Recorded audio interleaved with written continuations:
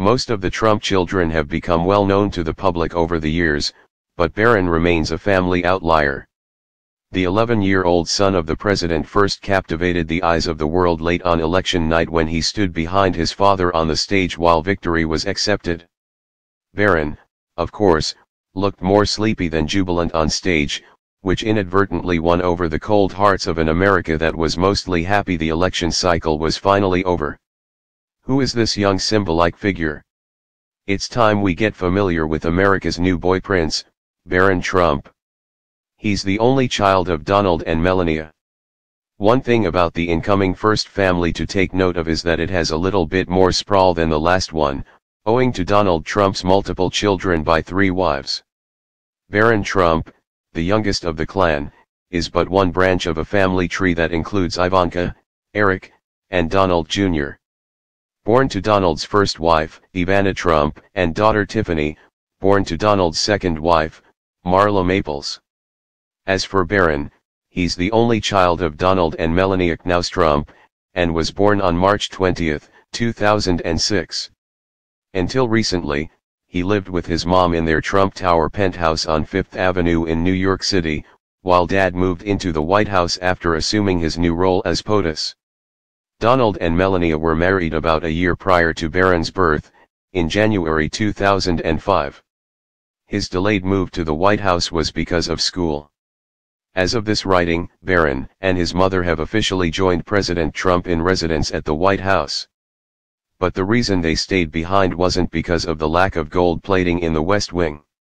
It was so Barron could finish out his year at the prestigious and very expensive Columbia Grammar and Preparatory School, where he attended through the end of the school year. Reassuring him that he'd be able to finish out his year at the school that Us Weekly reports has a price tag of around $45,000 per year, Barron's mom told him, take it day by day, enjoy your life, live your meaningful life as I like to do. We're not sure the then 10-year-old Barron was able to process such a life-changing move through the lens of that fortune cookie wisdom, but he did get to finish the year with his friends and classmates.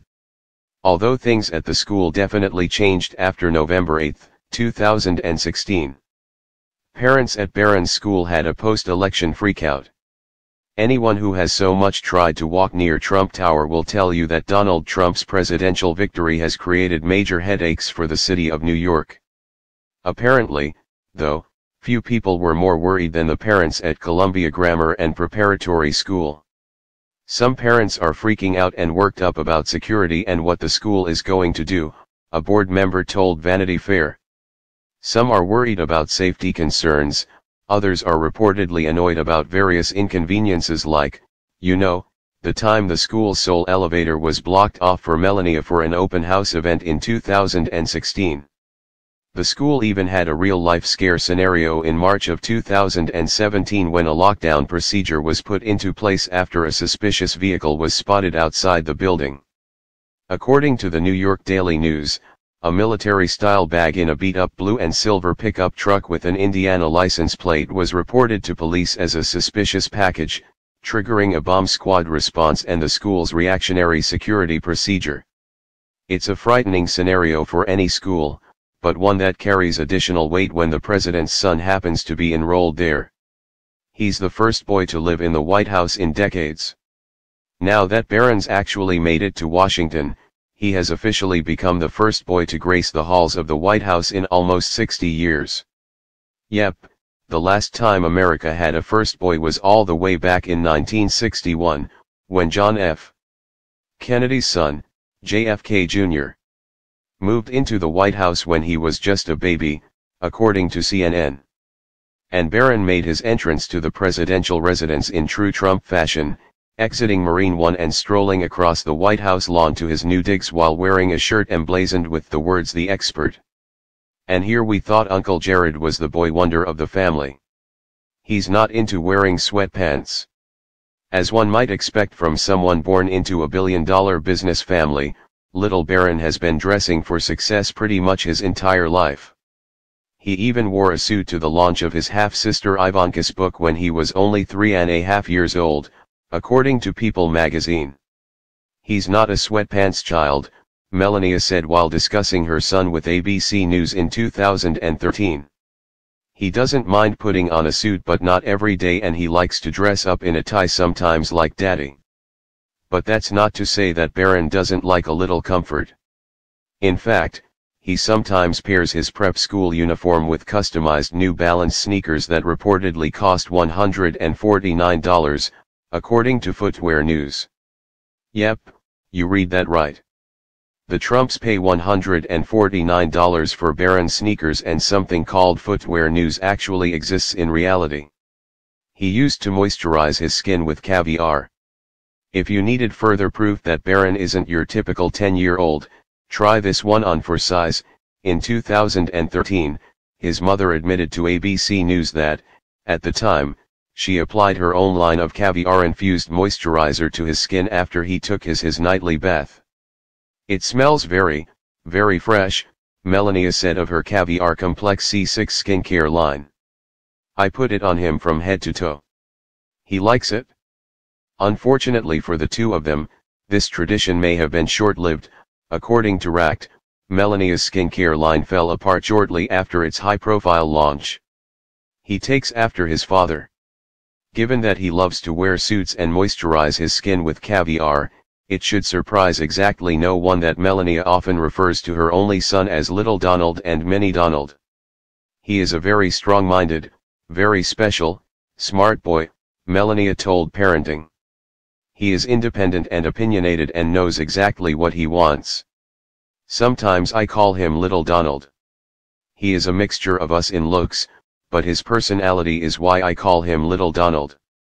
When he was five years old, he wanted to be like daddy, a businessman and golfer, she added later in the interview. He loves to build something and tear it down and build something else. He is very detailed at drawing. We travel often and he remembers everything he sees. Sometimes later the same day or the next he would build something like he saw or imagine something himself. In a 2013 interview with ABC News, Melania again referred to Barron as Mini Donald, which if we're being honest, has to sting a little for Barron's older half-brother, the actual Donald Jr. He's fluent in two languages. Although he reportedly takes after his father, Barron has also inherited his mother's roots as well. According to a 2016 interview with GQ magazine, Melania revealed that Barron speaks Slovenian fluently. In fact, he speaks the language with his grandparents, who live near Trump Tower, according to the interview. Melania also once bragged to people in 2009 that at just three years old, Barron was also speaking French in addition to Slovenian and English. But two years later, during an appearance on the Joy Behar show, Melania said, Barron speaks two languages completely perfect. He goes from one thing to another, Slovenian slash English. What happened to French? Was he just not fluent enough to mention it yet? Does Barron Trump own a beret? These are questions of national importance that need an answer. He lives like a king. In her interview with Parenting, Melania also dropped the bombshell news that Barron's digs at Trump Tower are so sweet, he actually has an entire floor to himself, complete with his own personal flourishes that include the incorporation of planes and helicopters into the decor of the rest of the house. Not only that, but it was no big deal if he wanted to draw all over the walls, because we can paint it over, she said. With that kind of setup, it's no wonder that they weren't in a rush to move him into the White House. And though he's not getting his own wing of the executive residence, his lifestyle isn't exactly getting downgraded. According to Inquisitr, the White House has a staff of 100 people who will know what every member of the Trump family likes, as far as food, snacks, and personal items. This will be stocked and waiting for the family so they can obtain it at a moment's notice. Rumors even swirled that Barron's getting a golden doodle puppy, named Patton, to go along with his new home, so at least if he gets homesick, he'll have a new buddy around to cheer him up.